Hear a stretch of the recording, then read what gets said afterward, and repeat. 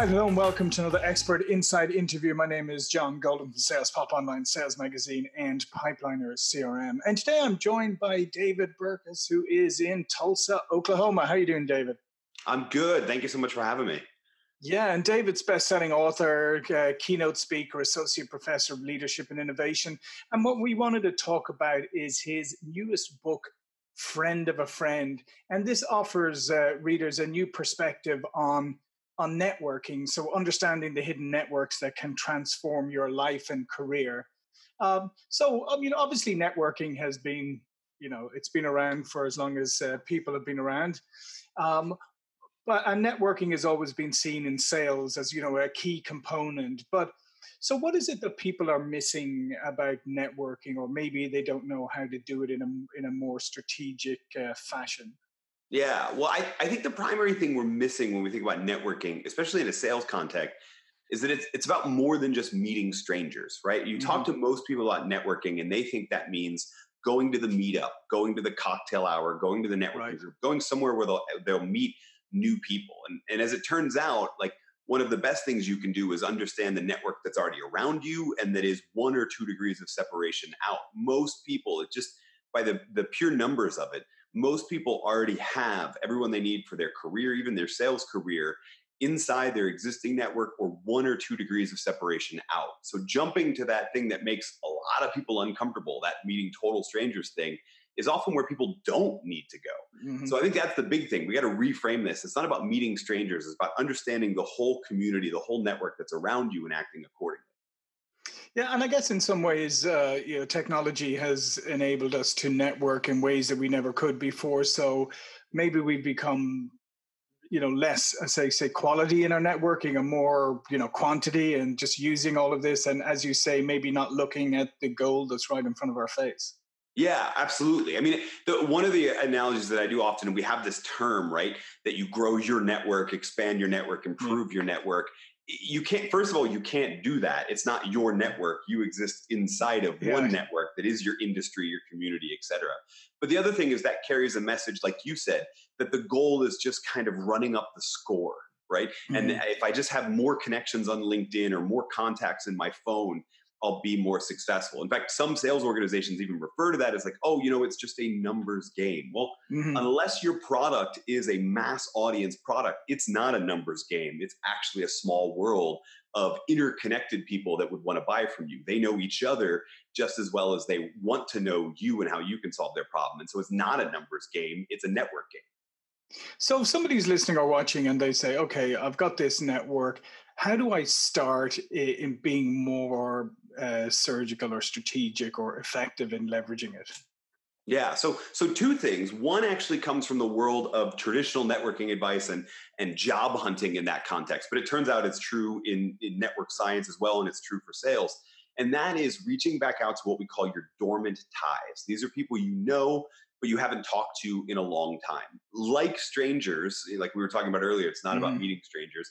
These are people that have new information, new ideas, new introductions, and may even now be in a position to buy from you, right? But weren't when you met them. And so there's a lot of new uh, value that comes from those dormant ties. And the best thing is you already have rapport with them. You just haven't talked to them in a while. The, the goal, especially in a sales context, is to be constantly rewarming those connections. I mean, a good CRM system can help with that, obviously. Yeah. To constantly rewarming those connections so that when they have a need, you're not hitting them and being like sleazy or scammy, or they're not feeling awkward reaching back out to you.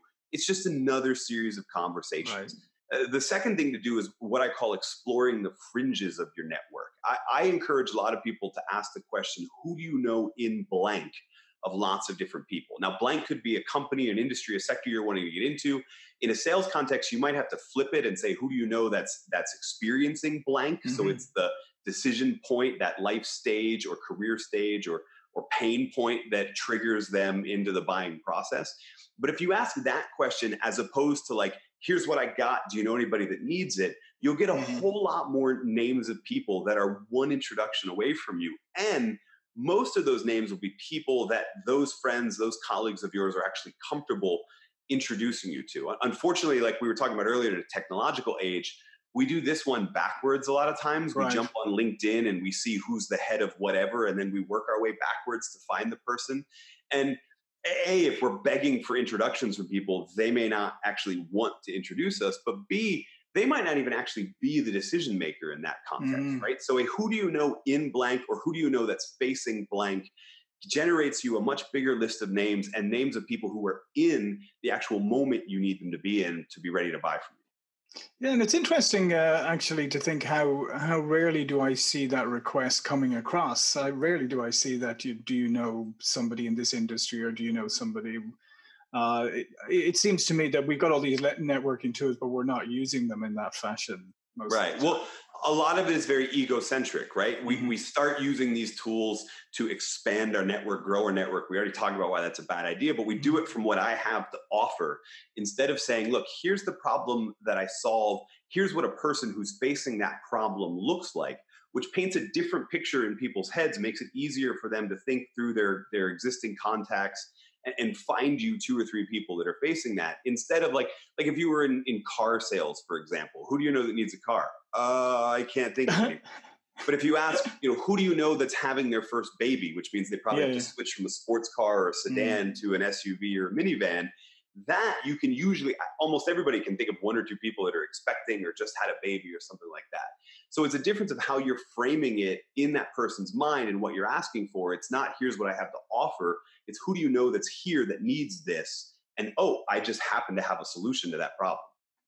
No absolutely. Another thing you mentioned here is uh, becoming a uh, you say become a broker and fill structural holes. So mm. what does that mean so structural holes in brokerages, these are these are fancy network science terms that uh, describe how a lot of networks operate. They're not egalitarian. There are nooks and crannies. There are clusters. Mm-hmm. Inside of organizations, we often call them silos, right? Yeah. But these are how in, in any industry you notice there's groups that aren't talking to each other or there's industries that aren't talking to each other.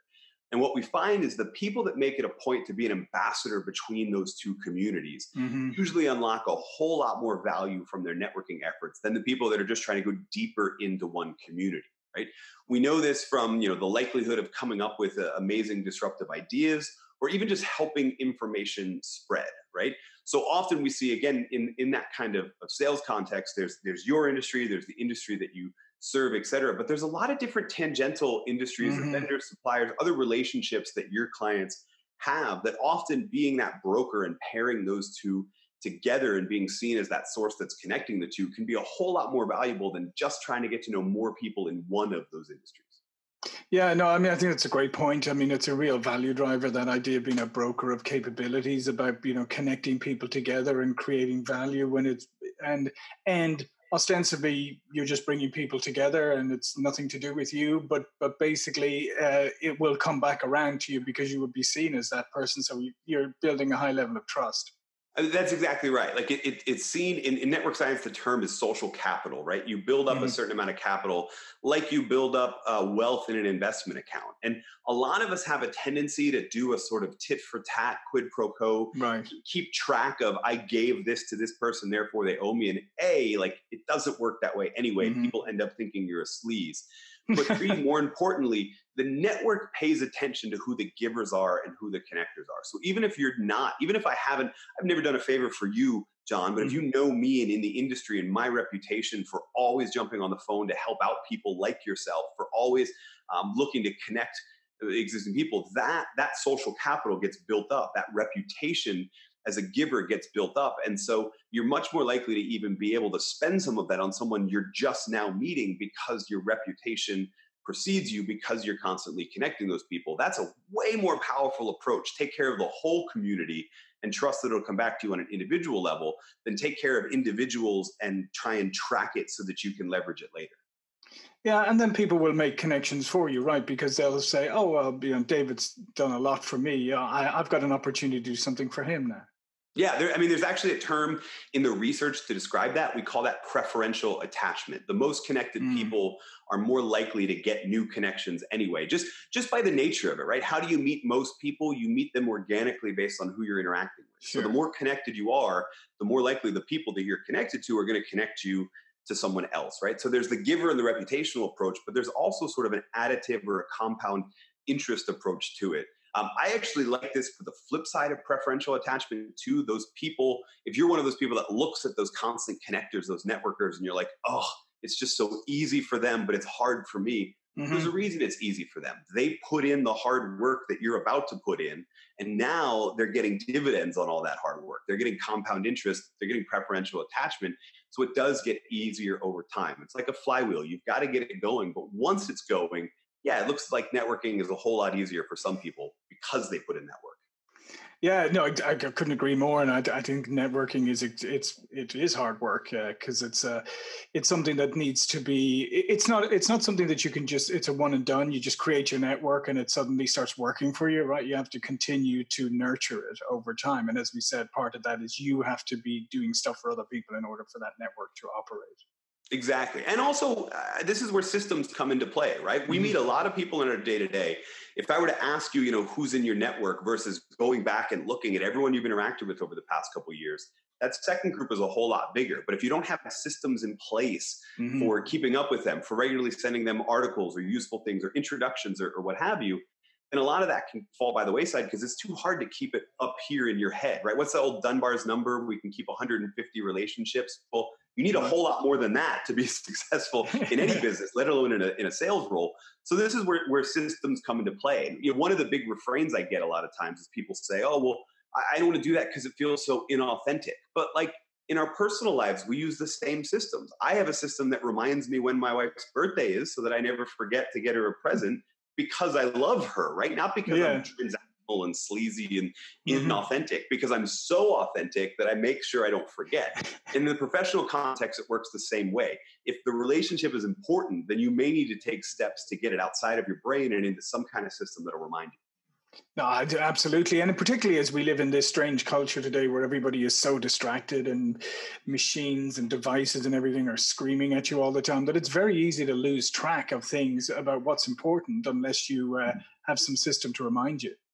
Yeah, a- absolutely. Like you make those notifications work for you instead of uh, against you, right? I mean, the first step is like printing them all down because we're so overloaded with it. But the second is, look, they worked for a long time, so why not put them to work for you?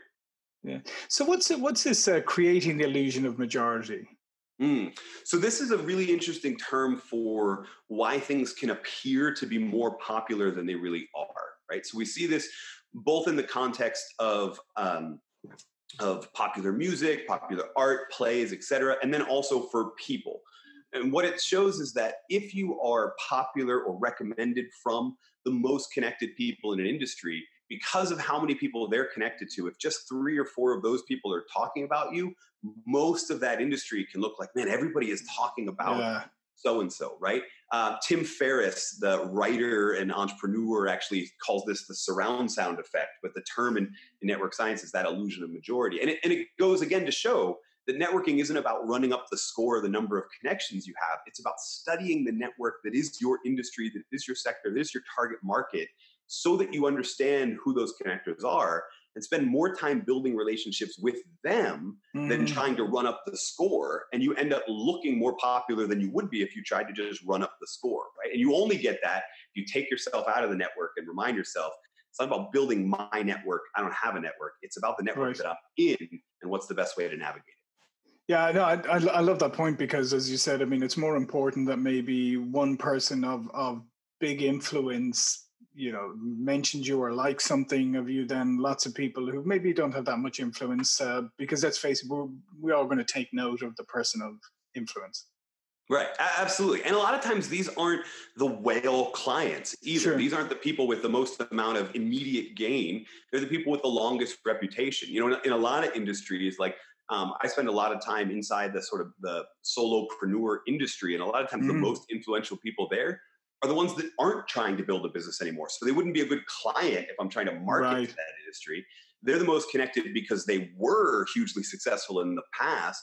And now there's nothing for me to gain in the short term, but there's a whole lot to gain in the long term for building a relationship with those specific people. Yeah.